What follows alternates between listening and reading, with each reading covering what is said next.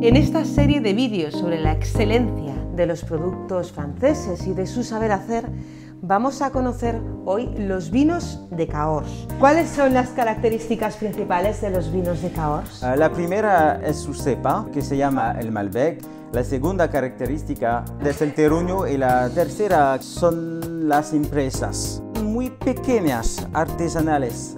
Es curiosa la copa donde está sirviendo el vino, que es la típica copa de aquí. Sí, se inventó esta copa en el viñedo para simbolizar la unión y la comunión de- del consumidor con el vino.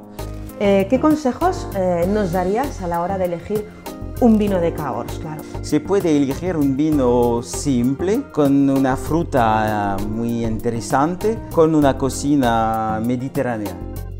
Si se elige un vino de Cahors con mucho más eh, importancia de, de Malbec, eh, se puede asociar el vino con la carne, por ejemplo, pero también se puede asociar este tipo de vino con el jamón. Se tiene la trufa, por ejemplo, en España, con un vino de 100% de Malbec. eh, muchos españoles le interesan descubrir el vino aquí y hablar de este tipo de vino cuando se retornan. Ahora vamos a degustarlos con un maridaje que nos han preparado aquí en el Chateau de Hotzer. Me gustaría tomar el conejo. ¿Qué vino me aconsejas eh, que tome con este, con este plato? Un millésime jeune, un 2014, parce qu'il y a de la fraîcheur sur une entrée avec de la fraîcheur. A continuación me gustaría tomar las carrilleras de buey.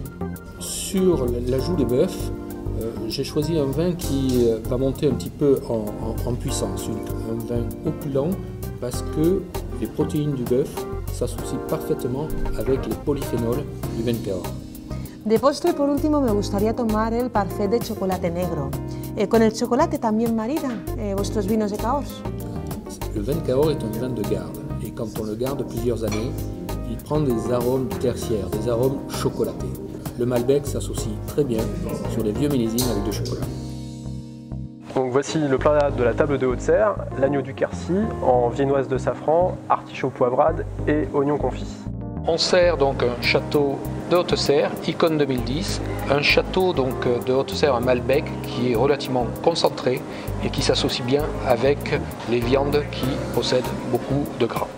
Pues después de haber conocido los vinos, saborear eh, un maridaje exquisito de comida con los caldos de Cahors, vamos a conocer los procesos de de este vino.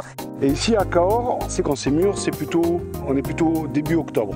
Après ici on vendange à la machine.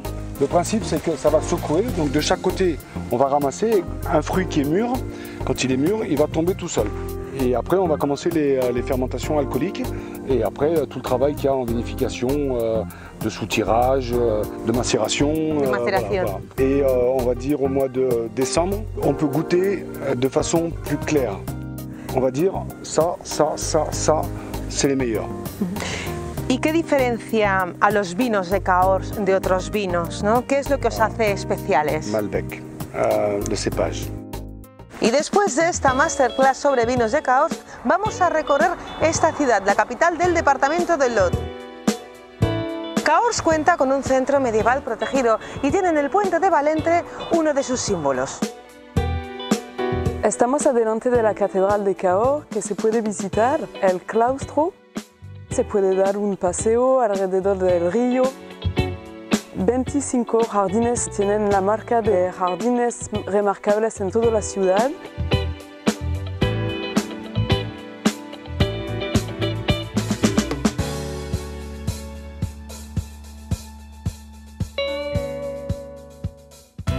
Ahora nos vamos a recorrer el departamento del Lot.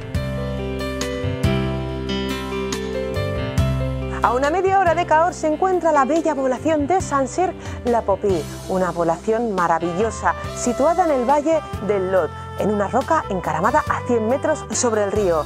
Es una población en la cual viven artistas que han venido a buscar la inspiración y también la tranquilidad. Es uno de los pueblos más bellos de Francia y en el 2012 fue la población preferida de los franceses. Estamos a la confluencia del Valle del Lot y del Valle del Sele. En el panorama aquí nos ofrece una vista maravillosa de este valle.